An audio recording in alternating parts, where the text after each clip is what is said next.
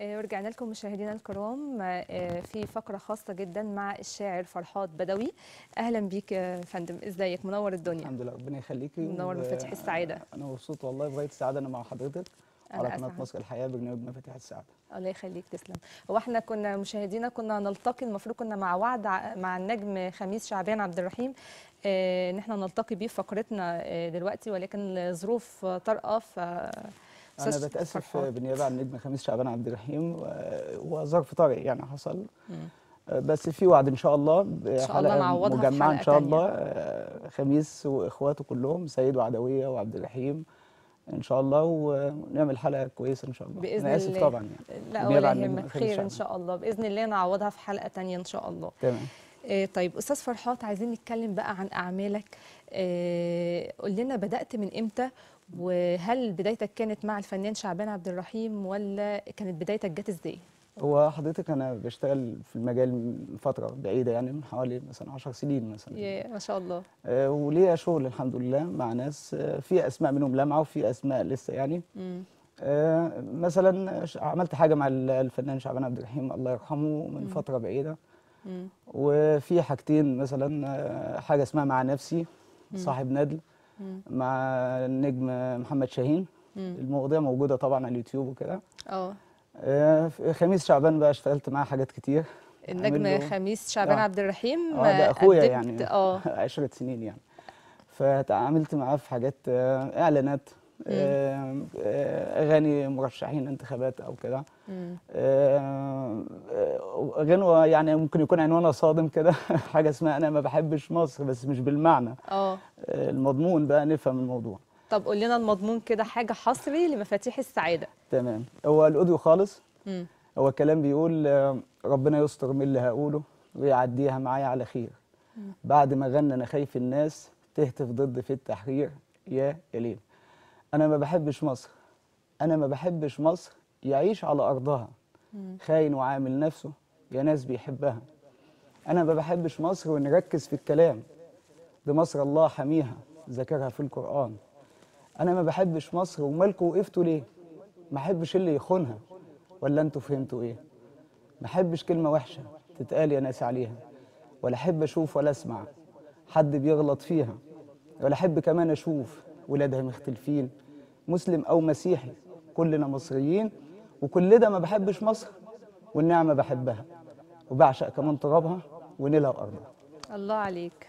وفي حاجة تانية بنحضرها برضو حاجة اسمها اصحى يا خالق اهو مم. ممكن أقولها لك بقى من عندي ماشي تمام اتفضل. مع النجم خميس شعبان عبد الرحيم برضو آه ولا؟ تمام بنحضرها إن شاء الله. آه اتفضل. آه، الكلام بيقول اصحوا يا خلق اهو فوق يا خلق اهو ده الرزق ماهوش بالعافية. ولا تقدروا تمنعوه.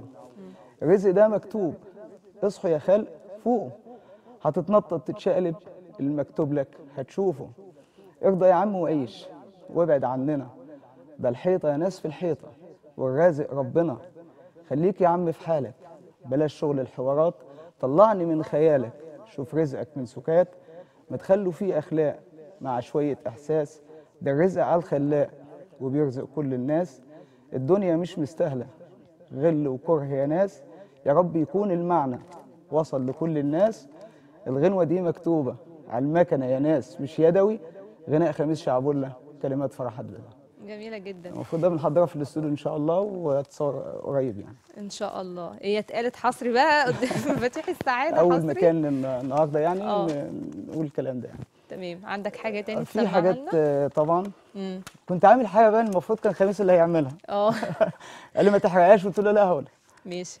هو تحية منه طبعا ومني لأسرة البرنامج لقناة آه، الصحة والجمال. وكان المفروض خميس اللي يلقيها يعني بس أنا أو كان أما يجي إن شاء الله هيلقاها برضو وأنا استأذنته طبعا إن أنا أقولها. فقال لي كده هتحرق الإفيه. طب أنا أعمل لي حاجة تانية فهنعمل دي النهارده ونعمل حاجة تانية في اللقاء القادم بإذن إن الله. شاء الله. اتفضل. فالكلام بيقول السادة الحضور السيدات والسادة. أنا في غاية السرور وفي غاية السعادة. على الصحة والجمال ومفاتيح السعادة مع سلوى متولي السكر الزيادة. ربنا يخليك. آه، مفاتيح السعادة برنامج حلو جميل والصحة والجمال قناة ملهاش مثيل. أنا بقى خميس شعبولة بمسي على الحلوين الفاتحة لروح أبويا. شعبان عبد الرحيم. الله يرحمه. شكرا جدا جدا على الكلمات الجميلة دي. يخليك يا رب. آه، في بقى سلمنا على الصحاب. حابب أنا أقولها يعني. هو ميزة آه، ال- الكلمات مع حضرتك يعني في غاية السهولة والسلاسة والبساطة. هو المفروض إن بنعمل الموضوع ال- في قالب شعبي يعني. آه. اللي هو يتغنى. مش القصيدة بقى اللي أيوة. ملتقيات أو كده يعني فده حتى حاجة الطفل يعني آه حتى الطفل لما يسمعها يعني ألفاظ متداولة وبسيطة سهلة بالنسبة له يقدر. يقولها هو بالبلدي كده بنجيب اللفظ ممكن بيتقال في الشارع يعني. أنت معايا. آه، بس في اللفظ المحترم طبعا يعني آه. مش أي لفظ يعني آه صحيح آه، ممكن أقول بقى سلمنا على الصحاب اتفضل يا ريت آه، ده المفروض أنا بحضرها مع النجم محمد رجب. حاجة اسمها سلمنا على الصحاب جميل اتفضل سلمنا على الصحاب والناس الطيبة على الشعر اللي شاب وأيام الصبا واللي بيعرف يخون واللي عليه بهون واللي بيعرف يمثل والدمعة قريبة. سلم لي على الطيابة على الناس الغلابة اللي ملهمش يابا غير بس ربنا. سلم لي على الحبايب الحاضر واللي غايب واللي في قلبي سايب جراحه معلمة.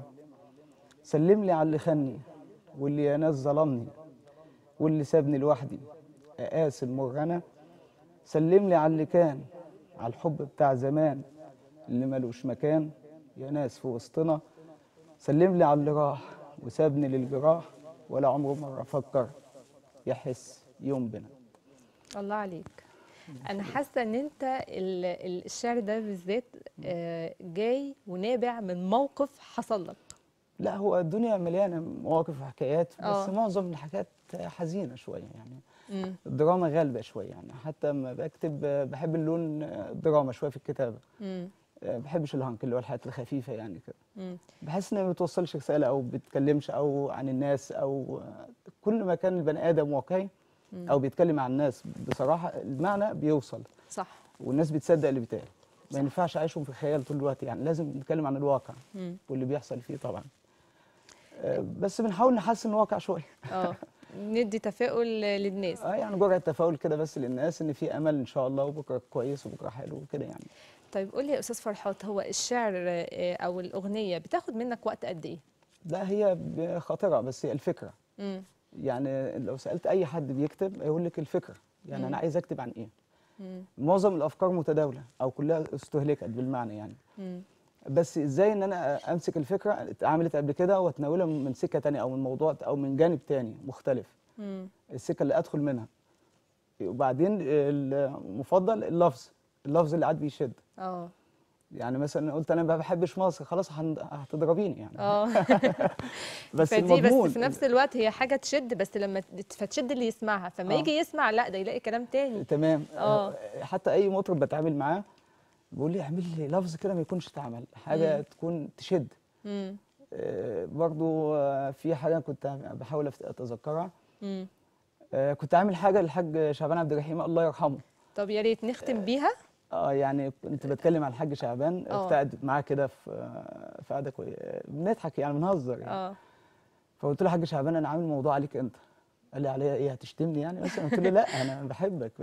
بس أنا بوصف حالة آه، الحاج شعبان كلها يعني. الساعتين والكاركتر اللي هو عامله لنفسه وكده. فكنت بقول فيها. بحبك يا قاسي يا أبو قلب زلط. عامل ناسي وسايق في العبط. لما بتقابلني وشك في وشي ليه بتحسسني إن شكلي غلط؟ أنا عارف إن شكلي ملخبط حبتين. يعني مش أحمد رمزي ولا إسماعيل ياسين. وعارف إن هدومي كل حتة من لون والأنتريه بتاعي ماشي مع البنطلون. والفرقة معايا شغالة من سنين. اللحن هو هو لابس كمان ساعتين.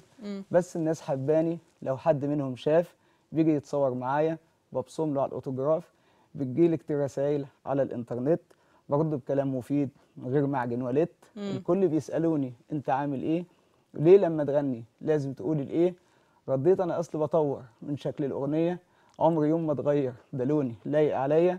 أنا ممكن أغني أقول يا ليل يا عين. بس اللي هيسمعني هيسأل ده يبقى مين الناس خلاص حبوني عجبهم منظري كمان بيقلدوني في لبسي ومظهري. الله عليك. تسلم يا أستاذ فرحات. كلمات جميلة جدا وإحنا استمتعنا جدا بالفقرة ربنا معاك. يخليك وأنا شرفت بحضرتك يا أستاذ سلوى. وأنا مبسوط إن في مفاتيح السعادة على قناة الصحة والجمال. قناة مميزة وأنا متابع من الناس المتابعين يعني. ميرسي شرف لينا. وإن شاء الله على وعد مع أستاذ فرحات والنجم خميس شعبان عبد الرحيم إن شاء الله نلتقي في حلقة تانية. وانتظرونا مشاهدينا الكرام يوم الثلاثاء القادم الساعة هتكون الساعة 2 إن شاء الله. نرجع لميعادنا القديم في مفاتيح السعادة. مع السلامة.